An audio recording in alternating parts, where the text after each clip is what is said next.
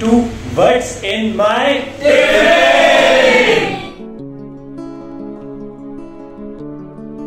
and this is my story. So I'm from Bangalore. My wife is from Solon. Welcome to the Bangalore tiffins and इस brand new series में इस नए cafe के साथ हम एक आगाज़ कर रहे हैं इस सीरीज़ में हम आपको ले जाएँगे सबसे अमेजिंग रेस्टोरेंट और कैफ़े की ओर जहाँ आपको बहुत टेस्टी खाना मिलेगा और जो हमारा ये फ़र्स्ट एपिसोड है, वो एक्सप्लोर करेगा द बैंगलोर टिफिन्स जो कि आई थिंक सोलन का ही नहीं, बल्कि हिमाचल का सबसे बेस्ट साउथ इंडियन खाना सर्व करते हैं। तो आइए, आपको दिखाते हैं यहाँ पे क्या क्या मिलता है और यहाँ का एम्बियंस कैसा है।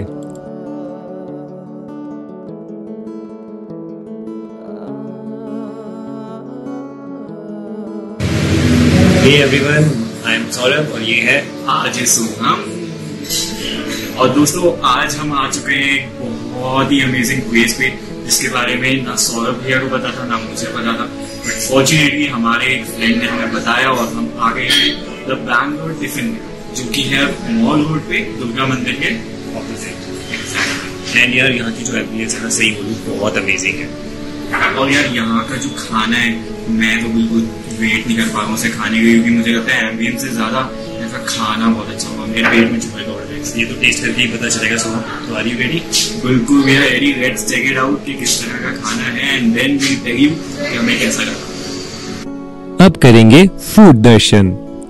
राइट सो इस प्लेट में अभी हमारे पास है एक dosa then we have sambar ये है वड़ा इसे हम पड्डू कहते हैं जो है वो कि एक तरह के साउथ इंडियन मोमोज की तरह है। देन वी हैव कोडू इडली बेसिकली ये जो इडली होती है, ये घी में रोस्टेड होती है एंड इसमें थोड़ा सा मसाला लगाया जाता है तो उससे थोड़ा सा इसमें स्पाइसी फ्लेवर आ जाता है। Then we have normal idli जो कि बनती है साउथ इंडिया साउथ इंडिया में। Then we have upma upma के बारे में सब लोग जानते होंगे, ये तो नॉर्मल ब्रेकफास्ट है हमारा भी।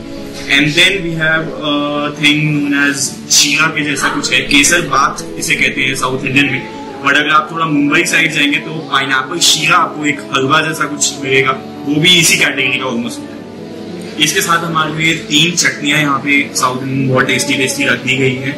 ये है garlic chutney this is the all all time famous coconut chutney, और ये है हमारी चने की दाल की चटनी। सो अब खाते हैं, और सौरभ भी हमें आपको बताएँगे भाई साहब, जिस हिसाब से सो हमने एक्सप्लेन किया है ना, मेरे से तो वेट ही नहीं हो रहा है। So will give a review तो उसके लिए वेट करिएगा। थोड़ी पेट पूजा कर ली जाए।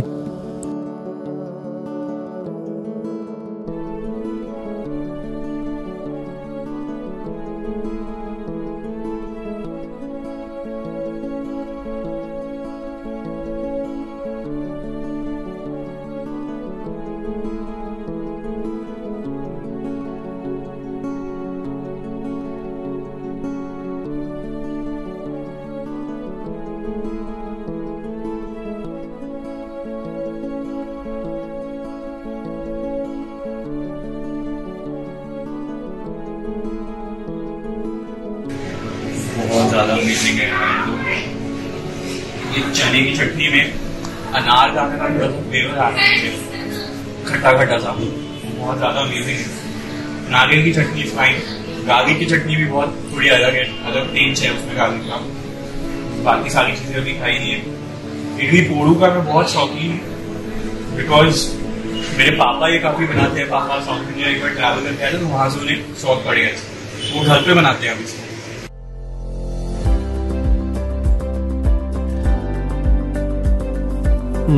Sort of food review.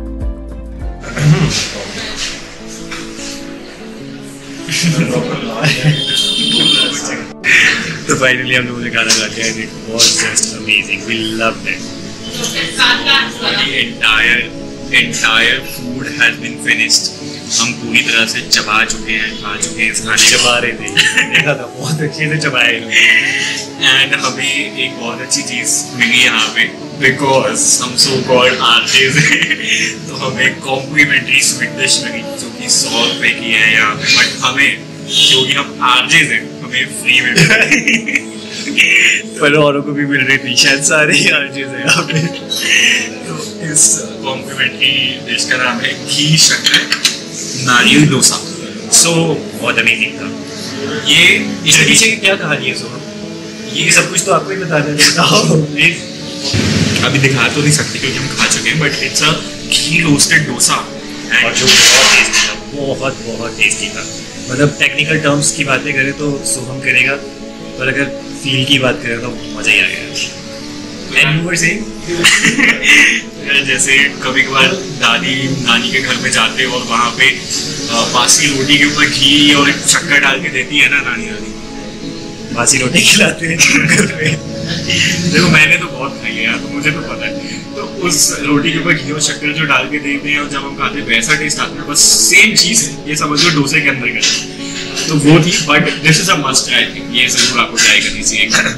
I totally agree with Soham and Soham ने बहुत ही मज़े दिला दिया आज। इतने अमेजिंग प्लेस को सजेस्ट करके और इतने अमेजिंग डिशेस को खिला सो थैंक्स टू सोहम कि मुझे भी मौका मिला इस शो में आने का। सौरभ भी ऑल्सो जिन्होंने ये वादा किया है कि आखिरी बार से हम जहाँ भी जिस भी जगह पे जाएँगे वहाँ पे पैसे यही बढ़ने वाले हैं I promise Let's meet the team. So we have the owner of this restaurant, this cafe with us. This is uh, Mrs. Mitali ma'am, and we're going to ask her what was the idea behind this entire cafe. Why did you start it, and how did you start it? Okay, so uh, honestly, I'd come here because my mom had decided to relocate to Solan. We are actually native of uh, Solan, and uh, I'm married in South. But uh, so when I came here and then we were kind of exploring, I always wanted to start something of my own, a small cafe, and uh, then we kind of figured out that uh, South Indian uh, we do get here, but maybe there's there's a lot of scope of improvement. And then we tried around, I think five outlets. They're good, but they're not the best. So we had uh, that benchmark because I mean I'm settled in South, so I know like you know what's what what can be the best benchmark. So that's how we started.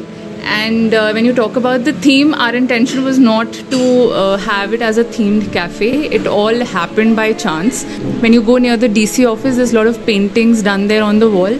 So we got contacted through one of our close friends here. His name is Arif. He's also, uh, you know, a designer and a very creative person he told us about this uh, group of students from they're fine art students from shimla and they have done this. So we called them over and then they gave us this beautiful idea and we just implemented. So all of this is like you know kind of brainstorming and on the spot and improv. There's nothing planned in this. Uh, but yes i think uh, the intention of um, giving the best to the people of solan is uh, what actually helped us. The husband, Mr. Girish, and uh, so we wanted to cater this food. And it was a challenge but then we thought if you do something we have to do the best. So that's where we did an investment on the human capital. You see our restaurant the investment is not much. It's a very basic investment. But the investment what we did is on a human capital. That is we got a chef from bangalore. So he was ready. He's from taj bangalore. And uh, he was ready to cater and serve the people in solan so that's how everything worked. And when you really want to look forward to something it just falls in place chai and coffee connection so यार मैं तो P रहा हूँ यहाँ की special चाय and I think कि ये चाय भी उतनी अमेजिंग है जितनी अमेजिंग यहाँ की कॉफ़ी है। पर यार, एक बार बात ज़रूर करते हैं, जिस बंदे ने ये चाय बनाई है, और उनका नाम है सूरज भैया, जो कि पहले हमें पता चला है यहाँ के ओनर से कि यहाँ वो जो है मॉरिशस में काम करते थे एक बार। So let's hear him out Suraj भैया, आप कैसे जुड़े इस पूरी टीम के साथ? एंड uh, कैसे मॉरिशियस से सोगन तक की जर्नी आपकी क्या रही? एक्चुअली मेरी जर्नी ऐसी है, मैं 2019 में सितंबर में मॉरिशियस से वापस आया, कोरोना काल में। सो दीदी was planning to open a adventure of this restaurant so she was telling me to attend a beverage feeling good it's a new experience lot of things for learning and I am just learning every day new new start let see how how we can go All right. So he's very positive about the restaurant. So you can see the entire entire aura that this uh, cafe is carrying is very very positive, and that is what you feel in their food as well. कि एक बहुत ही positive feeling आती है एक बहुत ही natural सी vibe आती है और एक बहुत अच्छी साधना आप यहाँ पे आके कर सकते हैं प्रैक्टिस कर सकते हैं मैं तो यही कहूँगा यार क्योंकि मेरे लिए तो खाना ही साधना है ऑनेस्टली स्पीकिंग आओ करें किचन दर्शन So yeah, so that's our kitchen, and uh, so we are planning that it's going to be an open kitchen because uh, that's how it happens in South. the main intention behind that is that the visiting customer should be able to see how the food is getting prepared and it's two ways because you know then that way we are very conscious to keep the kitchen clean this is our wet grinder it this is something that you get in coimbatore and uh, in this is where we prepare the batter माँ के हाथ में तो जादू है So, uh, as she uh, told us that uh, this is her mother and uh, nothing gets out while she doesn't check it, right? So, जिस खाने में माँ का हाथ हो तो obviously यार उसमें स्वाद तो आ ही जाएगा. So, first we'll uh, take a uh, viewpoint from her. It's only my daughter जिसने मुझे इस चीज़ के लिए इंस्पायर किया कि मम्मी आप इतना अच्छा हो हॉस्पिटैलिटी में यू कैन डू मतलब अभी तक कुछ नहीं हो पाया क्योंकि मेरे हस्बैंड आर्मी में थे तो हम पूरा इंडिया में घूमते रहे। तो अभी आफ्टर रिटायरमेंट सो कुछ ऐसा करना चाहिए। तो she only gave me the idea it's only her who inspired me to do this और कुकिंग में मेरा शुरू से इंटरेस्ट रहा है तो मुझे बहुत अच्छा लगता है लोगों को खिलाना। And I am doing the same thing here पूरे उस प्यार से कर रही हूँ। और आई होप के पूरे सोलन वासियों को और जो भी जितने लोग यहाँ आएँ, उनको वो स्वाद मिले। और इस उसमें हमारा पूरा वो रहेगा कि सबको वो स्वाद मिले साउथ इंडिया का Let's go to the chef and ask him what was his inspiration to come over here and work as a chef from all the way to Bangalore. Uh, it was not so easy, uh, but uh, COVID taught me many things. Then I, I started cooking as my passion when I was, I was in seventh grade. It goes through that level, and then I did my BHM in Bangalore uh, for four years degree. Then it took me to a Taj, Vantabaita. I worked there for a year. Then I went to Sai Leela. Then I had worked for Hard Rock Cafe. Then I felt I can do something in South Indian cuisine and all. Then I started my own restaurant. COVID. Then came here, got a good team. Felt we can expand here, work with each other. It was very nice coming here, and this journey of this one month was very excellent for me And I like this team more than my team. So that's really good. कहते हैं कि जहाँ लोग मिल जाए अच्छे काम करने वाले वहाँ काम बन ही जाता है so one final question to you ma'am how is the business coming up it's very nice but you know uh, i will not talk in the number of in you know the, the sales numbers and all but i would say that uh, see one thing is that people in Solan are very warm you know I'm, I'm i'm so grateful to see that and you know so warming and then so welcoming and uh, obviously they they actually see the intention that we are serving with you know one thing that has also helped us is that the you know it doesn't feel like that we are actually running a restaurant it's like कि हमारा घर है और हमारे घर में लोग आ रहे हैं और हम उनको खाना खिला रहे हैं definitely I have to charge because there people working here so that's there and charge wise भी ना आई हैव ट्राइड कि कॉस्ट मैं कम रखूँ I have tried my best but more than that आपको ना क्वालिटी कभी कॉम्प्रोमाइज़ नहीं मिलेगी हमारी ना यहाँ पे तो वो तो मतलब इट इज़ लाइक कि I am sure my team actually dreads because मैं हर समय बीच में जा जा के चेक करती रहती हूँ कि टेस्ट ठीक है ठीक है लाइक नहीं मैम ठीक है नहीं हम लाइक नहीं ये नहीं बाहर जा रहा.